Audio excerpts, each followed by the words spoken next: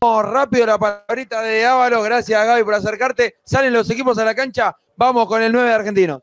Bueno, Gaby, eh, ¿cómo te estás sintiendo en esta recuperación? Vemos que ya estás haciendo trabajo con pelota. Sí, bien, por suerte muy bien, eh, contento, tratando de, de, llegar lo más rápido posible. Bueno, ahora estamos ya trabajando en campo y, y ojalá sea lo más rápido posible.